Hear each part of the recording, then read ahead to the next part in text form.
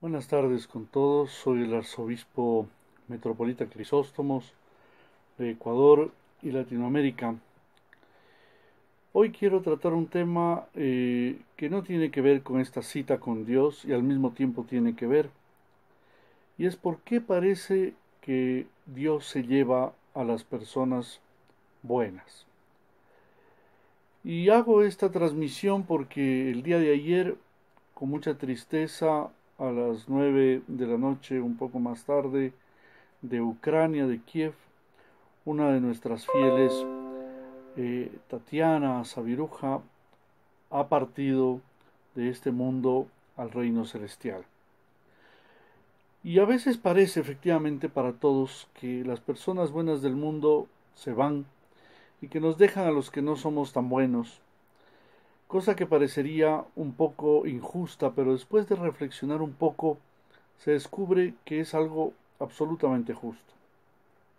Si creemos en Dios sabemos que nuestro caminar por la vida es pasajero y que nos espera una eternidad maravillosa.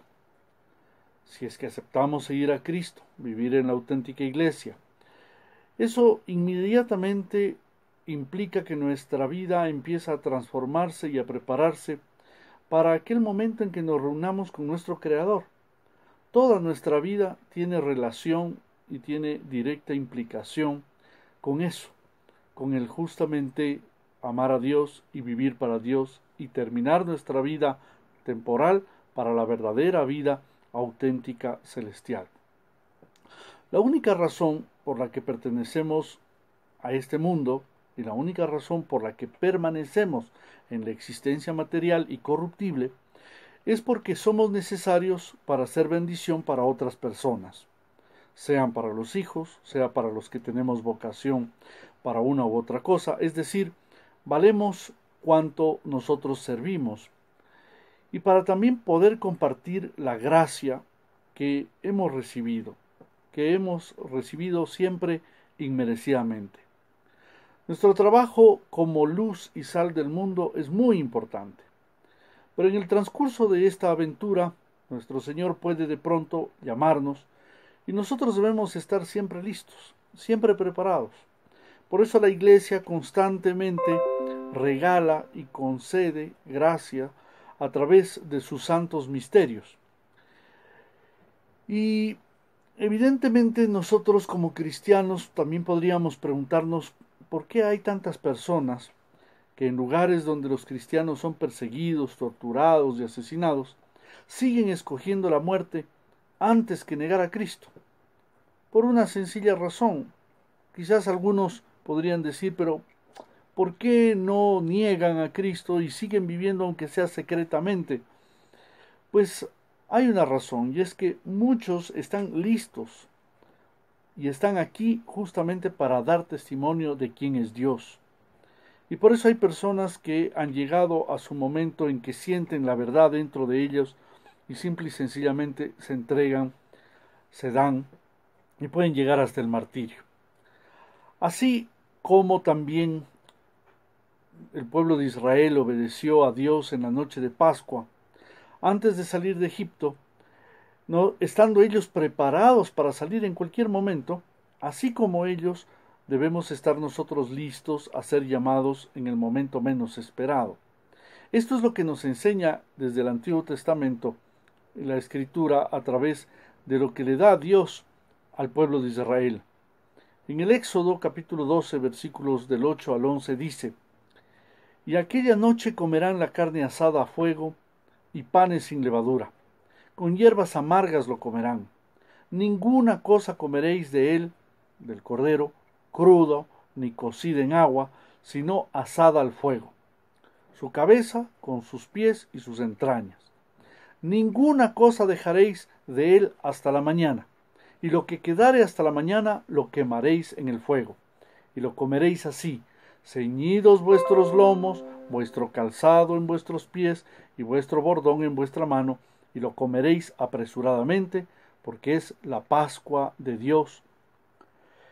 Éxodo capítulo 12, versículo del 8 al 11 es lo que acabamos de leer, y se refiere justamente a esto, a lo que es una oblación.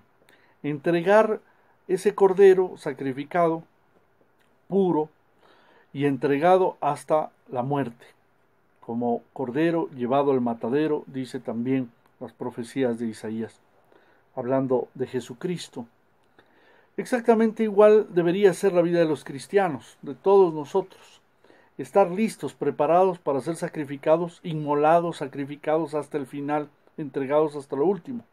Vivir listos para ir con Dios y eso nos hace entonces vivir entregados a la voluntad de Dios, a aceptar lo que tiene que venir.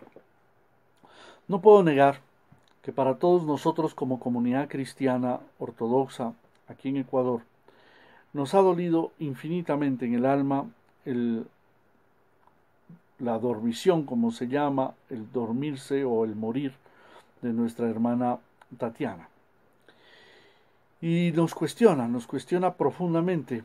¿Por qué? Porque nos preguntamos, por sobre todo, si estamos listos, listos para poder pasar a ese paso el cual Dios también nos pide, a esa Pascua auténtica. Y por eso debemos vivir constantemente entregados a la voluntad de Dios.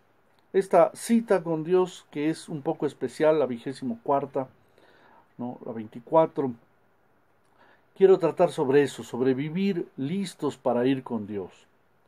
De tal manera debemos vivir que cuando nuestros seres queridos nos vean partir o vean que ha llegado la hora, ellos ya no se sorprendan porque saben que estamos preparados y que eso nos llena de confianza, paz y esperanza.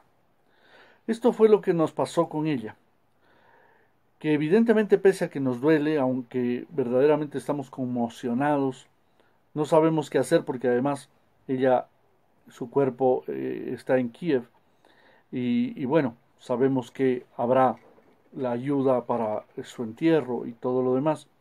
Sin embargo, es terriblemente doloroso para nosotros el no poder estar ahí, el no poder acompañar, el no poder, pero estamos aquí, oraremos desde aquí. Pero es muy importante saber que nosotros comprendemos que ella, a su vez, se entregó de tal manera que sabemos que estaba lista, que ella verdaderamente ahora nos llena de confianza, de paz y de esperanza, porque sabemos que ha ido al encuentro del Señor.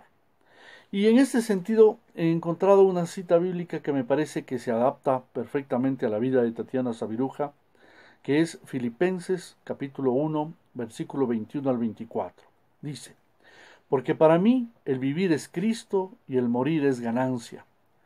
Mas si el vivir en la carne resulta para mí en beneficio de la obra, no sé entonces qué escoger, porque de ambas cosas estoy puesto en estrecho y teniendo deseo de partir y estar con Cristo, lo cual es muchísimo mejor, pero quedar en la carne es más necesario por causa de vosotros.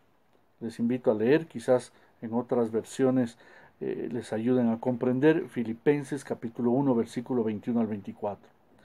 Y puedo yo testimoniar como obispo, como su confesor, como su guía, que ella vivió así, tal cual esta cita, que su vida era esencialmente ganancia. Todo lo que ella hacía, todo lo que ella entregaba a los demás y daba para, lo, para los demás, verdaderamente era para ella ganancia.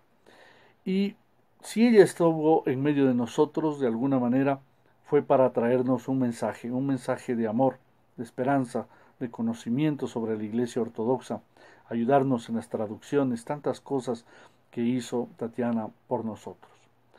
En todo caso, creo que yo considero tremendamente importante en esta cita hablar de eso, hablar de que por qué Dios se lleva a estas personas, probablemente porque han cumplido su misión y porque están mucho mejor allá más que acá.